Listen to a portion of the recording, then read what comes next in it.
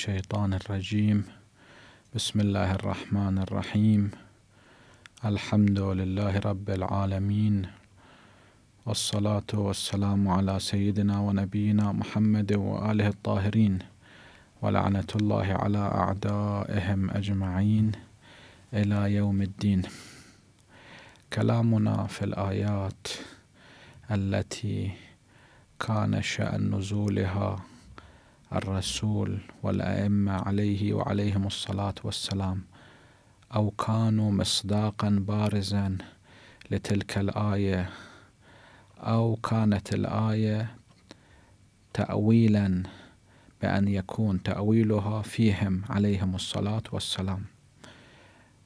ومن تلك الآيات قوله سبحانه وتعالى في سورة النبأ عما يتساءلون عن النبأ العظيم الذي هم فيه مختلفون.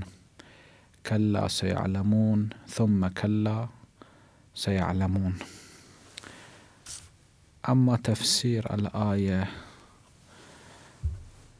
أن المشركين كانوا يتداولون الحديث حول القيامة التي كان يبشر بها وينذر منها رسول الله صلى الله عليه وآله. وكانوا يستنكرون ذلك لأنهم كانوا يعتقدون أن الموت نهاية كل شيء فالإنسان بزعمهم بموته ينتهي. وضرب لنا مثلا ونسي خلقه قال من يحيي العظام وهي رميم؟ وآيات كثيرة في القرآن نقلت قولهم مع الرد عليه سواء بالدليل العقلي أو بالدليل الفطري أو بإراءة المثل في الدنيا حيث ترى الأرض ميتة بنزول المطر عليها الله سبحانه وتعالى يحييها. الأشجار في الشتاء تكون كالميتة لكن في الصيف تعاد الحياة وتنبعث فيها. على كل حال هذه الآية شأن نزولها في المشركين الذين كانوا يتكلمون حول البعث القيامة فكانوا ينكرون ذلك. وكان المسلمون يبينون البراهين القرآنية في إمكان بل وتحقق القيامة بأن الله سبحانه وتعالى كما خلق الإنسان من لا شيء قادر على أن يحيي الإنسان الميت مرة أخرى. عما يتساءلون؟ هذا الاستفهام عن ماذا يتساءلون. لتعظيم أمر المسؤول عنه. عما يتساءلون. عن النبأ العظيم. الخبر العظيم. الذي هم فيه مختلفون. يختلفون في ذلك. فبعضهم مؤمن. وبعضهم منكر. كلا سيعلمون. الآن هو ينكر. الله سبحانه وتعالى لم يلجئه على القبول لأن الدنيا دار امتحان فهو يتمكن من الإنكار. لكن أيام الدنيا قليلة فحينما يموتون ويوضعون في القبر هناك يعلمون بأن الحياة البرزخية قد بدأت. كان انتقال الموت من عالم إلى عالم آخر. ثم كلا سيعلمون. مرة أخرى حينما يخرجون من القبور للحساب في يوم القيامة هناك سيشاهدون عيانا إحياء الأموات. لكن لا ينفعهم ذلك العلم لأن الإيمان إنما يكون في هذه الدنيا قبل أن يموت الإنسان. فإذا مات فخلص ينتهي أمره. لا يمكن تجديد الحساب تجديد الامتحان مرة أخرى.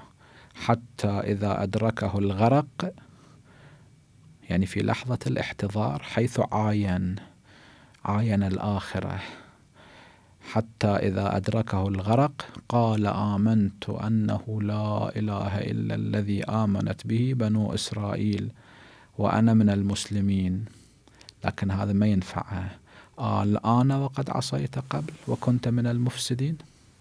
وليست التوبة للذين يعملون السيئات حتى إذا حضر أحدهم الموت قال إني تبت الآن. في لحظة الاحتضار ما يفيد بعد. ولا الذين يموتون وهم كفار. إذا مات يعني حتى في لحظة الاحتضار هم لم يؤمن في يوم القيامة أو في القبر يتندم لا ينفعه الندم. حتى إذا جاء أحدهم الموت قال رب ارجعون لعلي أعمل صالحا فيما تركت. كلا إنها كلمة هو قائلها ومن ورائهم برزخ إلى يوم يبعثون. هذا شأن نزول الآية. لكن كما هو المعلوم أن شأن نزول الآية لا يحصر الآية في ذلك القضية. وكما يقول علماء الأصول خصوصية المورد لا تخصص الوارد. صحيح لبعض الآيات شأن نزول خاص لكن إذا الآية كانت عامة عمومها لا يخصص إطلاقها لا يقيد بشأن النزول. فلذا هذه الآية لها مصداق آخر. ذلك المصداق الآخر هو أمير المؤمنين علي بن أبي طالب عليه الصلاة والسلام. اختلف فيه المسلمون. قسم من المسلمين ألهوه جعلوه إلها فكفروا بذلك وخرجوا عن الإسلام. وقسم منهم أبغضوه وناصبوه. هؤلاء أيضا خرجوا من الإسلام من الباب الآخر. وقسم منهم أحبوه وتولوه. وقسم منهم أحبوه ولم يتولوه. الشيء الذي ينفع الناس أن يحبوه وأن يتولوه. إذا أحبوه وتولوه يعني أطاعوه. وجعلوه حيث جعله الله سبحانه وتعالى. كما قال الرسول من كنت مولاه فهذا علي مولاه. وكما قال الله سبحانه وتعالى أطيعوا الله وأطيعوا الرسول وأولي الأمر منكم. إذا جعلوه حيث جعله الله سبحانه وتعالى وتولوه بقلوبهم وأطاعوه بجوارحهم هؤلاء يكونون مؤمنين من أهل النجاة. أنت وشيعتك هم الفائزون. لكن إذا أبغضوه وناصبوها العداوة أو إذا ألهوه خرجوا عن الإسلام. وإذا تركوه أنا لا أواليه ولا أعاديه. هذا أيضا لا يفيد لأن الله سبحانه وتعالى أراد الولاية له.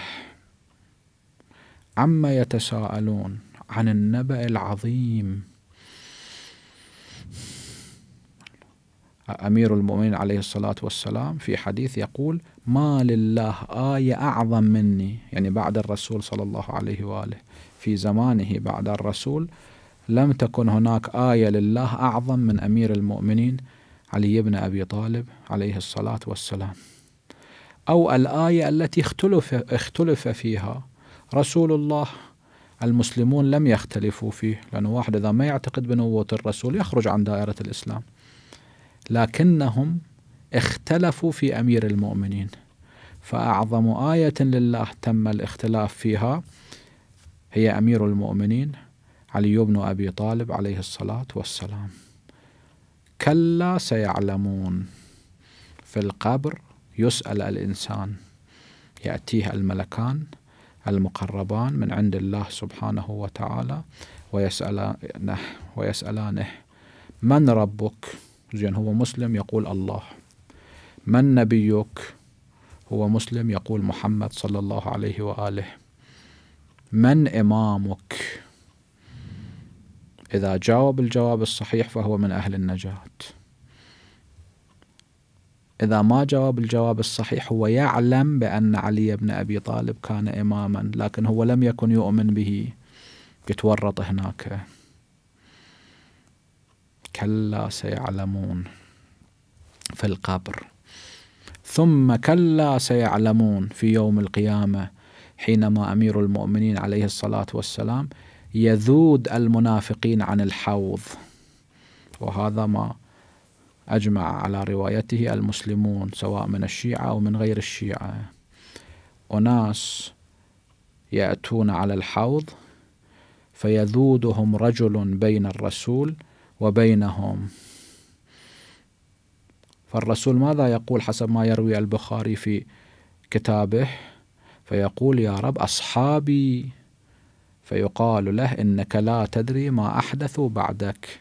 إنه لا زالوا مرتدين على أدبارهم القهقرة فلا أراه إلا يخلص مثل همل النعم يعني قليل جدا. الأكثر لا يخلص يطردون من الحوض. الذي هم فيه يختلفون كلا سيعلمون ثم كلا سيعلمون. هذا الحديث الشريف. عن أبي جعفر عليه الصلاة والسلام يسأله أبو حمزة الثمالي قال قلت له جعلت فداك إن الشيعة يسألونك عن تفسير هذه الآية عما يتساءلون عن النبأ العظيم. قال ذلك إلي إن شئت أخبرتهم وإن شئت لم أخبرهم.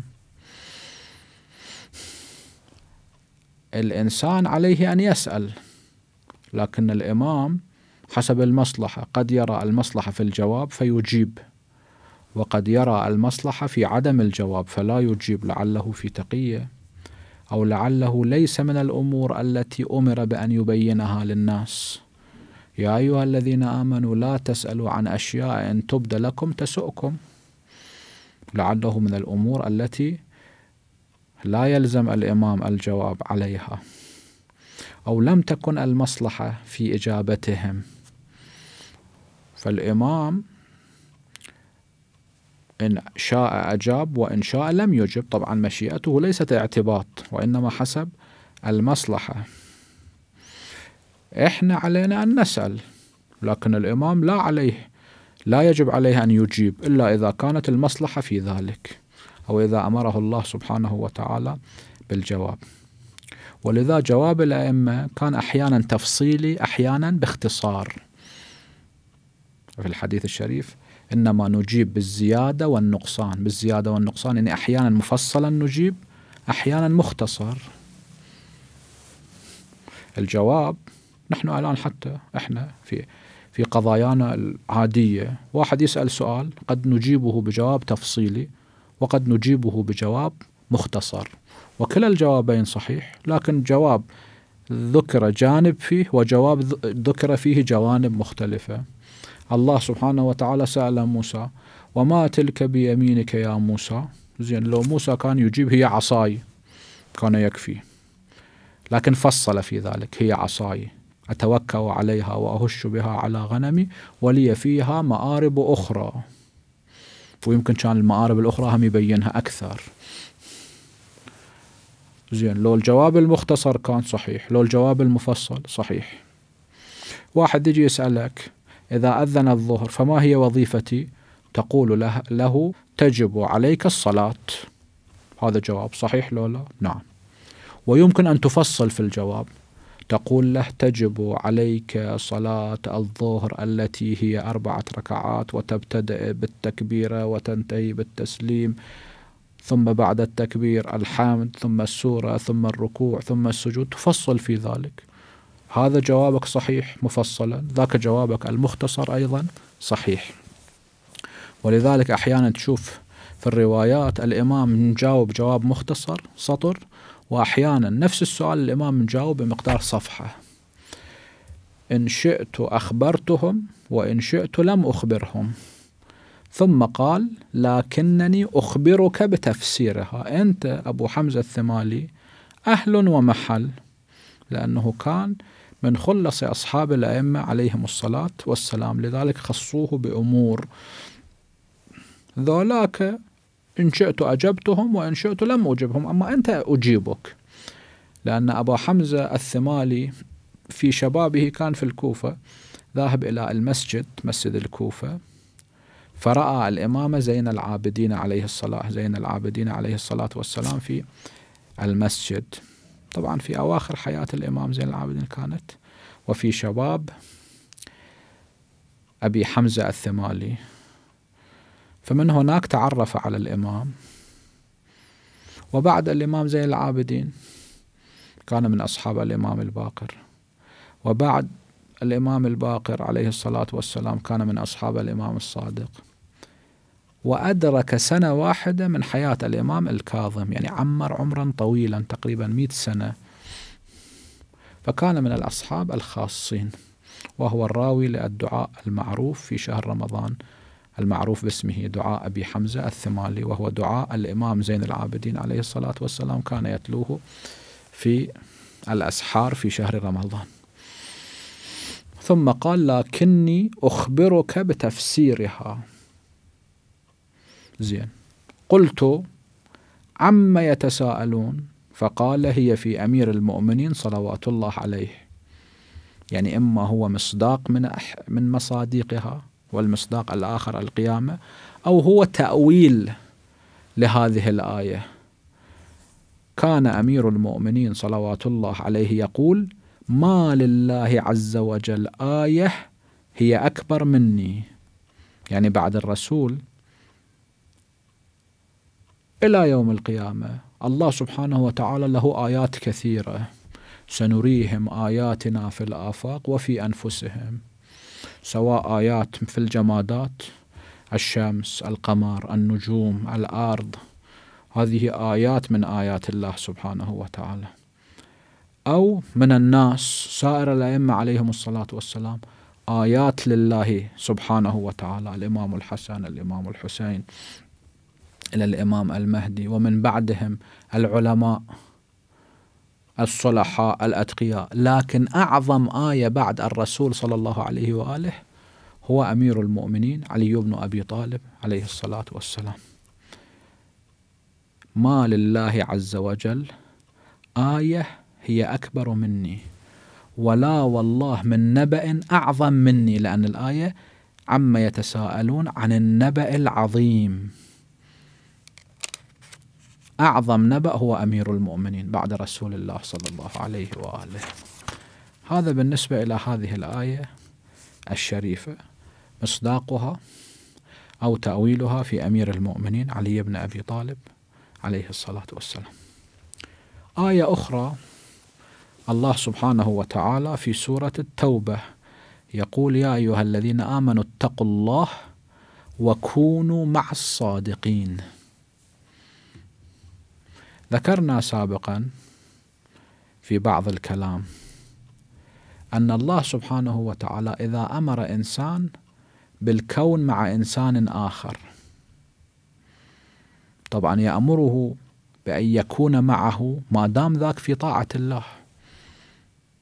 إذا ذاك صار في معصية الله الله سبحانه وتعالى يأمر بأن يفارقه لا تطيعه في معصية الله. وفي الحديث الشريف لا طاعة لمخلوق في معصية الخالق.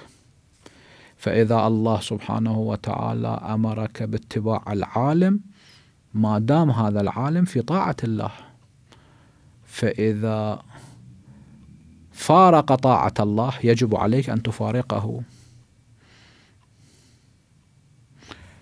بلعم بن باعورة من كبار علماء بني إسرائيل. والله سبحانه وتعالى آتاه آياته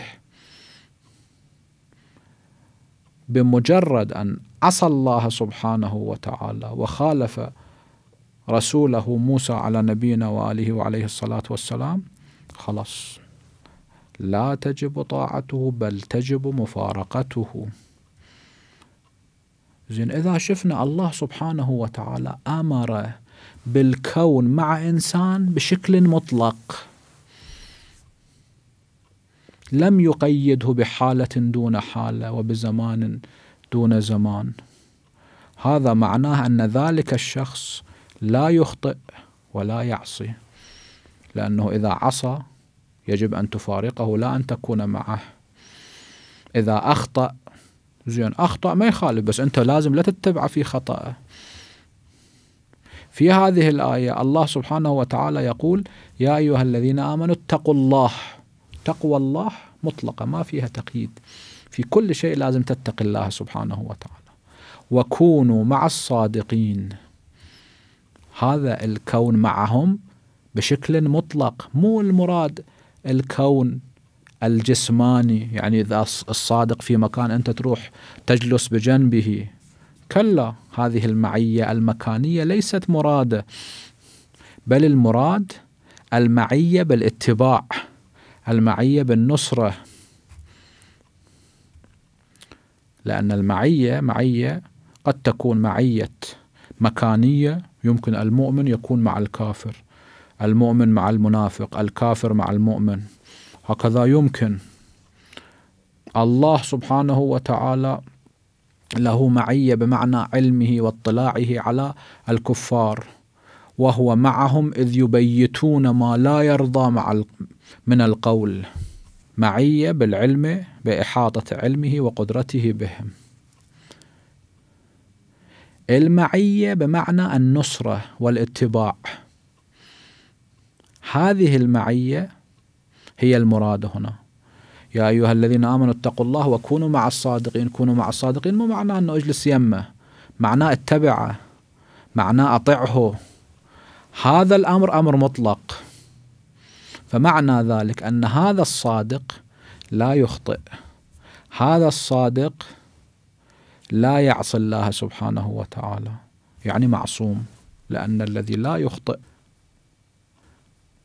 ولا يعصي من البشر هو معصوم.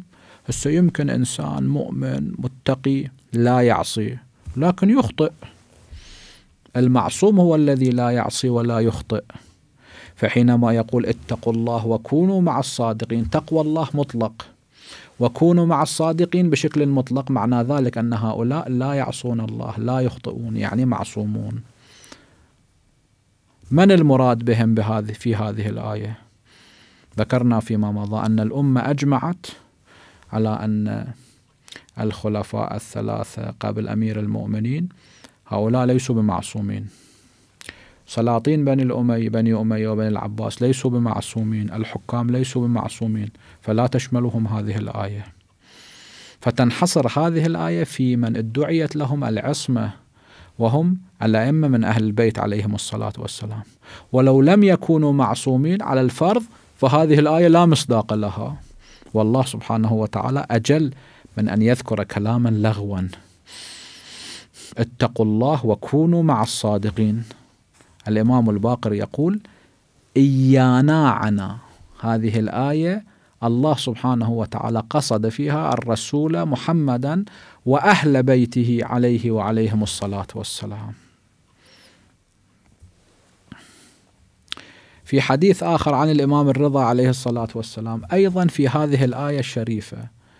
ماذا يقول الإمام الرضا؟ يقول الصادقون هم الأئمة والصديقون بطاعتهم. يا أيها الذين آمنوا اتقوا الله وكونوا مع الصادقين. أول الصادقين الرسول صلى الله عليه وآله في زمانه.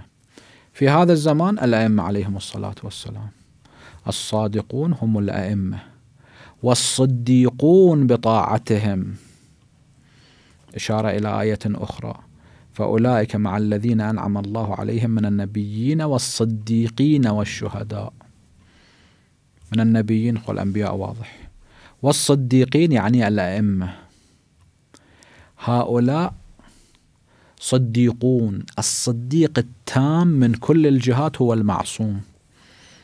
لماذا؟ لأنه يصدق الله سبحانه وتعالى في قوله وفي فعله إذا واحد يخطئ قد يكون صديقا لكن ليس صديقا بالتمام لأنه في خطئه فعله لم يصدق ولو هو معذور لأنه أخطأ في ذلك الصديق التام من كل الجهات هو الذي لا يخطئ فكل أفعاله تصديق لله سبحانه وتعالى. كل أقواله تصديق لله سبحانه وتعالى.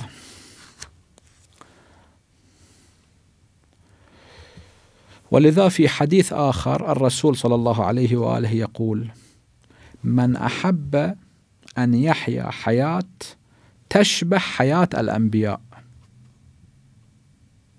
حياة الأنبياء شنو هي؟ هي الحياة الطيبة. من عمل صالحا من ذكر أو أنثى وهو مؤمن فلنحيينه حياة طيبة. في آية أخرى ويحيى من حي عن بينة.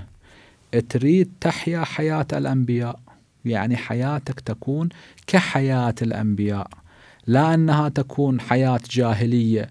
من مات ولم يعرف إمام زمانه مات ميتة جاهلية يعني حياته حياة جاهلية وموته موت جاهلي. لا ليحيا من حي عن بينه ليكون من قبيل ليهلك من هلك عن بينه. من أحب أن يحيا حياة تشبه حياة الأنبياء يعني الحياة الطيبة. ويموت ميتة تشبه ميتة الشهداء. الشهداء شنو؟ كيف ميتتهم؟ ليس المراد يعني قتلهم لا المراد يعني ما بعد الشهادة. أحياء عند ربهم يرزقون والشهداء عند ربهم لهم أجرهم ونورهم كما في سورة الحديد. تريد تموت هذه الميتة حياتك تكون حياة طيبة وموتك يكون فيه الأجر والنور من الله سبحانه وتعالى. ويسكن الجنان التي غرسها الرحمن. الجنة البستان الكثيف الشجر بحيث أن الأغصان متشابكة فتغطي على البستان. أكو بساتين الأشجار متباعدة فمن فوق أنت ترى داخل البستان من تحت تنظر إلى السماء. لكن أحيانا البستان الأشجار أغصانه أغصانها كثيفة قريبة متشابكة بحيث تستر البستان هذه يسمى الجنة. من مادة جنن بمعنى ستر. هذه الأغصان تستر هذا البستان. ويسكن الجنان التي غرسها الرحمن إما بدون وسا... توسط الملائكة. الله سبحانه وتعالى تشريفا لهذا المؤمن هو الذي يخلق أشجار. هذه البساتين بدون أن يوسط واسطه في زراعة هذه الأشجار. أو بمعنى أن الله سبحانه وتعالى أمر بغراستها. لأنه يستفاد من بعض الأحاديث أن هناك ملائكة مأمورون ببناء وغرس الجنة كلما عمل الإنسان من الأعمال الصالحة. ويسكن الجنان التي غرسها الرحمن. تريد تعيش حياة الأنبياء؟ يعني حياة طيبة. تموت ميتة الشهداء يعني لك أجرك ونورك من عند الله. وتسكن في الجنة. منو يريد ذلك؟ فليتولى عليا. يعني يتخذه وليا واماما. وليحبه. وليوالي وليه. مو فقط أنه تحب علي بن أبي طالب لا حتى الذين يحبون علي بن أبي طالب تحبهم. والمؤمنون والمؤمنات بعضهم أولياء بعض. زين هذا بالنسبة إلى علي بن أبي طالب. يكفي؟ لا. هناك ناس يعتقدون بعلي بن أبي طالب لكن لا يعتقدون بالأئمة. هذا لا يكفي. وليقتد بالأئمة من بعده. لماذا؟ فإنهم عترتي خلقوا من طينتي. الطينة التي خلق الله سبحانه وتعالى منها محمدا صلى الله عليه وآله. من نفس الطينة خلق الأئمة عليهم الصلاة والسلام. هسه تفاصيل أحاديث الطينة ستأتي في باب الإيمان والكفر. هناك بالتفصيل أن أرواحهم الله سبحانه وتعالى خلق نورا من عظمته. ومن ذلك النور خلق أرواحهم. ثم خلق عليين في الجنة. من أعلى عليين خلق أبدان الرسول والأئمة عليهم الصلاة والسلام.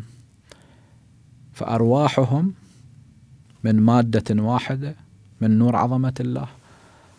وأبدانهم أيضا من مادة واحدة هي أعلى عليين. اللهم ارزقهم فهمي وعلمي. يعني الرسول صلى الله عليه وآله يدعو للأئمة والله استجاب دعائه. لذلك جميع علوم الرسول انتقلت إلى أمير المؤمنين. علمني رسول الله ألف باب من العلم يفتح من كل باب ألف باب ومنه إلى سائر الأئمة. اللهم ارزقهم فهمي وعلمي وويل للمخالفين لهم من أمتي. ويل بئر في جهنم. العذاب للمخالفين لهم من أمتي. اللهم لا تنلهم شفاعتي. لأن شفاعة الرسول عامة. لكن الذين يخالفونهم الرسول لا يشفع لهم. لأن الله لم يرضى ولا يرضى من أولئك. والرسول لا يشفع إلا لمن ارتضاه الله سبحانه وتعالى. هذه بعض الآيات. وهناك آيات وأحاديث أخر في هذا المضمار. نتركها إلى حلقة قادمة. هذا وآخر دعوانا أن الحمد لله رب العالمين وصلى الله على سيدنا ونبينا محمد وآله الطاهرين.